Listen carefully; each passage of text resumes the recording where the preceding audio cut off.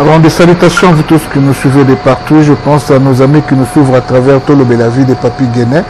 Vous qui nous suivez à travers euh, le collet à Congo de Placide de Jésus, l'œil de l'église du pasteur Salomon ainsi que Diaspora bout de son rival. J'ai reçu pas mal de questions à propos des enjeux politiques actuels. Vous savez, nous, nous sommes des combattants. Nous, on est là pour le Congo, on est là pour la nation. C'est le Congo d'abord. Les leaders viennent après. Mais j'ai comme l'impression que le Congolais aime plus l'air leader par rapport au pays. J'ai eu à le constater à l'arrivée de Jean-Pierre Béba. J'ai vu une masse nombreuse au a qui causait la Jean-Pierre Béba, coup de chapeau, bravo. C'est très bien, Azamwana Moka. Mais ce qui est mal, ezali euh, ntango tolobaka ville morte eh, tolobaka marche bato bayaka ndenge wana te ntango tolobaka tobima soulèvement populaire bato babimaka te bango babimaka moke moke makasi mais bato bazolinga balider mpe bazoyamba balider baza ebele makasi par rapport ya bolingo ya mboka c'est ce qui nous fait mal nous on est en train de se poumoner na diaspora awa Mais les gens qui sont au pays, bazotalisa biso ke balingi na bango ba leader na bango. Question ya mibale ezali bato mosusu balobi na ngai mais son rival position eza ndenge nini parce que on a vu Jean-Pierre Bemba faire un plan et puis euh, depuis que le Congo est Congo, tout ça, tout ça, tout ça, machin, machin. Bandeko, vous savez, euh, moi j'ai toujours dit la vérité bamemi ngai na nzela polémique sans rival félix tisekedi jean pierre mbemba na aleki na baplaire maurice katumbi ceci cela moi je suis pas du genre ya polémiquer sur des histoires inutiles et ridicules moi c'est le Congo c'est le pays où rien je veux la chute du, régime je veux le départ de la Kabylie non seulement de Kabila ce que les gens ignorent tous ces gens qui ont trahi qui ont détruit qui ont pillé le Congo n'ont pas droit au chapitre ils n'ont pas droit au soleil na Congo il faut bas à la c'est vraiment important Kabila n'a pas détruit le Congo seul. Il a détruit le Congo, il a été accompagné de nos frères propres congolais, de nos propres frères congolais. Félix Tshisekedi, c'est un grand leader incontournable aujourd'hui udps aza na base na koi nyonso ya monde entier ntina moici kuna na babindi udps aza na base na ye mlc c'est un grand parti politique mais aza na base lokola ya udps te et c'est aussi un jeune parti politique par rapport ya udps donc s'il faut parler en termes de masse ou en termes de foule donc il n'y a pas à discuter là-dessus donc félix tshisekedi aza très très très populaire il a vraiment une base une base eza lokola bafane ya wera na bafane ya héritier héritier aza vraiment vraiment na bafane te bato bakoya conseil héritier ebele plein koya ebele elingi oloba te ke euh, baza bafane be base ya héritier te tandis ke wera bato bakoya ebele epuis aza mpe na base na ye oke bafane ya wera bangoyo c'est comme l'udps oyo felix aza na bato aza na base ya makasi ya makasi vraiment koleka mais qu'à cela ne tienne nous soutenons tous nos leaders et nous aimerions qu'ils soient tous unis afin que balaki bandisela biso candidat moko oyo toute la diaspora tokosoutenir na baélection alors nous n'aimerions pas vivre le petit jeu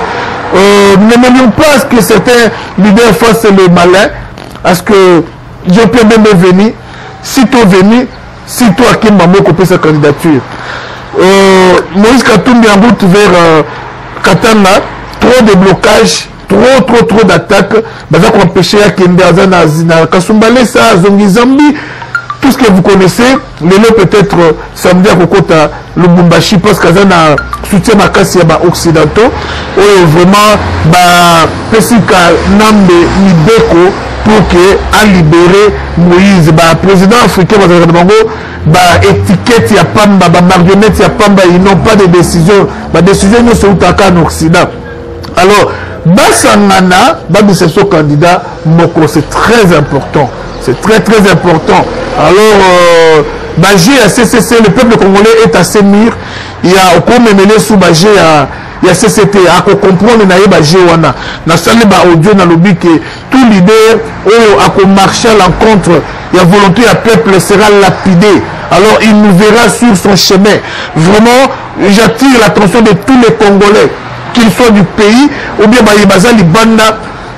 Tolinga mboka koleka ba leader na biso leader soki olingi leader koleka mboka atomoni leader akoti na potopoto okoloba mabe na ye te okosoutenir ye kaka na potopoto atomoni leader asali mabe asali mama batrahir mboka okoloba mabe na ye te okosoutenir kaka leader ozomona mboka ezobeba bato bazokufa ye azosoutenir bato bakufa mais yo C'est le leader ou rien. Alors, en tout cas, dans la prochaine République, on n'aimera pas vivre de ce genre de personnes. Nous voudrions bien soutenir les, capacité les potentialités les facultés intellectuelles na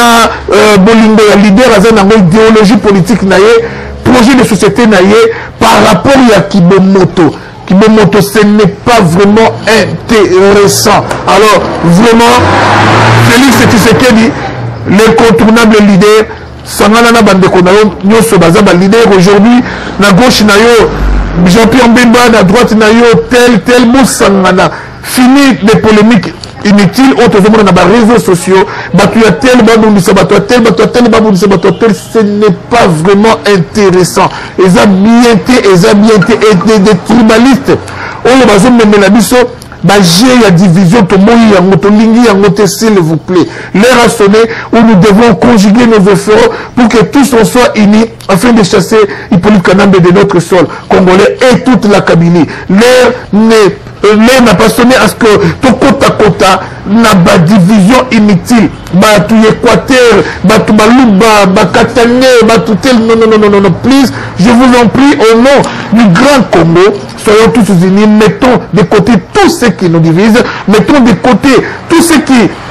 nous sépare, coterie, régionalisme, tribalisme, Ba nepotisme tout ce n'est pas bon parce que nous avons vu euh, les ba ngwandi ya kote ya jean-pierre bimba lokola bamokolo ya mpombo tous ces collabos qui ont détruit le congo mais à côté d'un grand leader opposant mais baye kosala nini bandeko ya pas vraiment des relations entre la lumière et les ténèbres. Moi, j'ai toujours dit la vérité, Bandeko Nangaïza, propreté. Mais nous n'avons jamais vu euh, Félix Tshisekedi à côté, il y a bah, luba lokola baboshab babuli bakolabo lokola baboshab lokola bato bande baluba baza na pouvoir bazakari bababaso tout se baluba baa na pouvoir namona bango te na mopanzi ya félix tshisekedi bandeko vraiment leur asoneo kifotofungola misu tofungola vraiment miso en leo jean pierre mbemba sito arrivé mbala moko ake na sénat comme sénateur bandeko analysons un peu cette histoire sénat eza ya bakolabo euh, nini euh, parlement eza ya bakolabo vous avez vu comment tshisekedi ayi à mettre de côté tous les députés de l'udps oyo baacceptaki kokende kosiéger alors bandeko na ngai ti na dernière minute quand même on a vu martin fayulu se racheter abimi na sénat na parlement mais comment expliquer que jean pierre bemba sito arrivé ake korejoindre kingo wadondo na sénat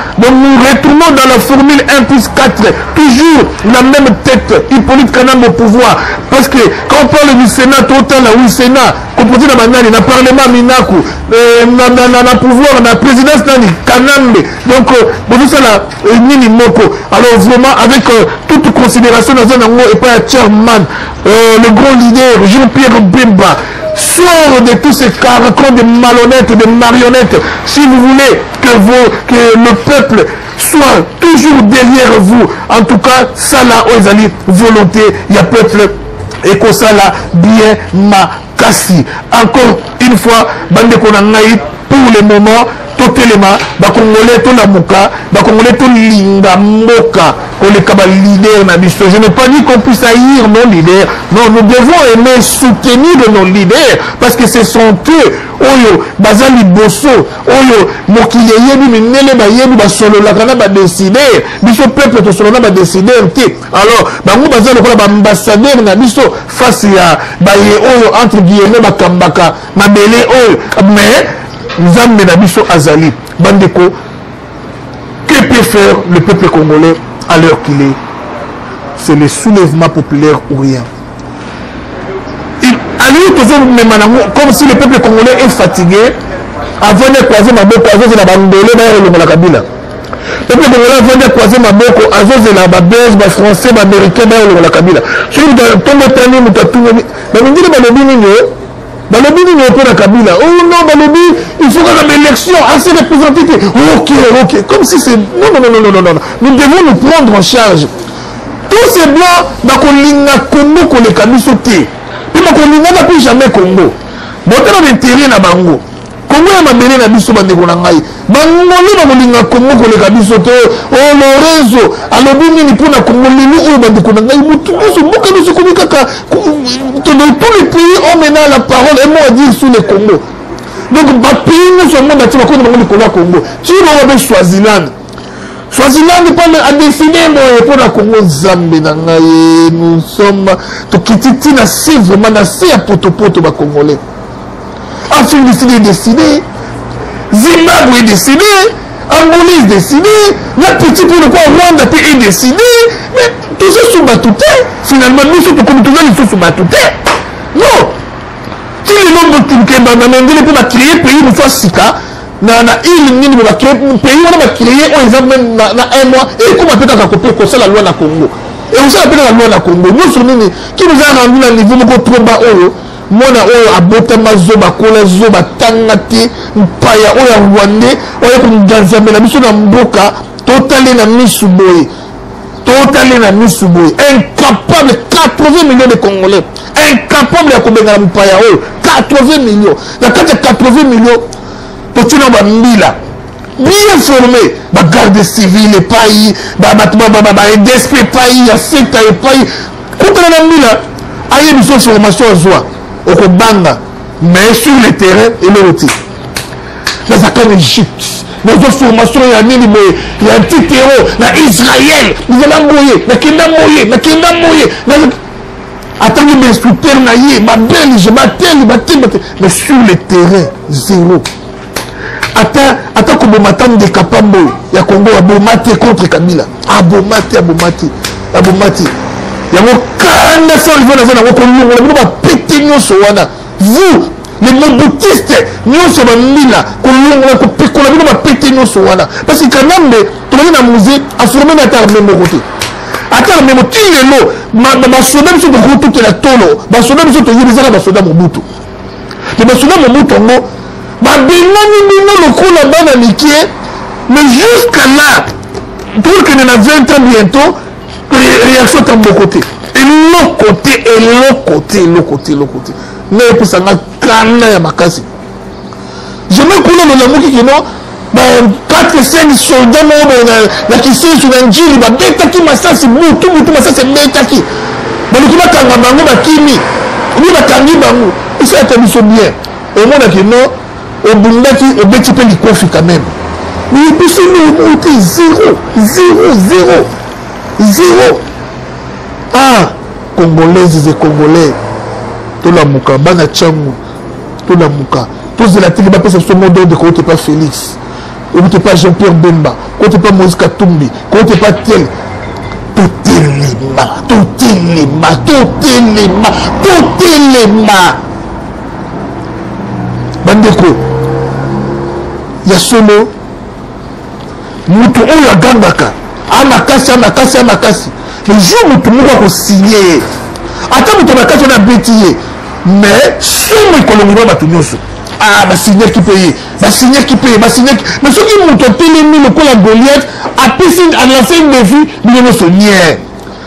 tokomi na 2001 à la fin de fini nyonso nier tokomi na 2002 à la fin de fi acoli bino bino nyonso rien aleki aleki aki na katanga la fin de fi en 2006 il n'y avait rien en 2011 il n'y aura rien en 2016 il n'y aura rien aseki bino bosala eloko te aseki seki bino devo banotable katangais il n'y a eu rien il n'y a eu rien peuple congolais bato bakende koyamba jean pierre bemba wana bato bakenda koyamba l'opposant euh, le plus populaire félix tisekedi bato bayamba baki koyamba moïse katumbi na bakasumbalisa partout soki bato wana ma basangani lelo oyo vraimen badeside kabila akende bandeko akende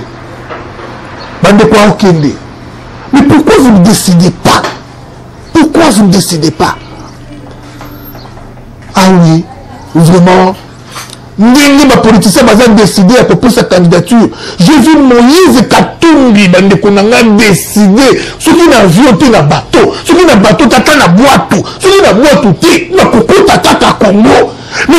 sa décision wana décision wana ndeko na ngai mpo nani bakozwa ngo mpe teke en tout cas kabila fo akende felix seke na beti loboko na bisaka kabila fo akende oyo mjete bemba abeti loboko na biso kabila fo akende moïse katumbi abeti loboko na biso kabila fo akende kabila okende kabila okende de la manière ke balider na biso baza décide bapesa candidature na détermination wana soki détermination na bazwi yango mpo kabila akende aokende aokende Soki obima décidé décidé décidé aye kaka boye bango kolobi wa azobisa candidature décide détermination wana ezala ya kabila akende aokende kabila akokende bandeko na ngai vraiment pas trop de commentaires merci à vous tous qui avez prêté attention à cette tronche Je pense à celle qu'on appelle Media, Medina. Des gros bisous à toi. Papi Guénoné ensemble. JBK Musique, Roseline Le Peuple d'abord. Daniela la lutte continue. Hein. Bino nyonso bosutenaka sans vivant de l'autre comme de près, toute tendance confondue. Je pense à celui qu'on appelle Peter Mukendi, grand leader. Autaka Dioba Koya, Naosika, Mobali ya Mama Fanny. Mbote Siko Zali, Tokutani Balasima, Ingeta.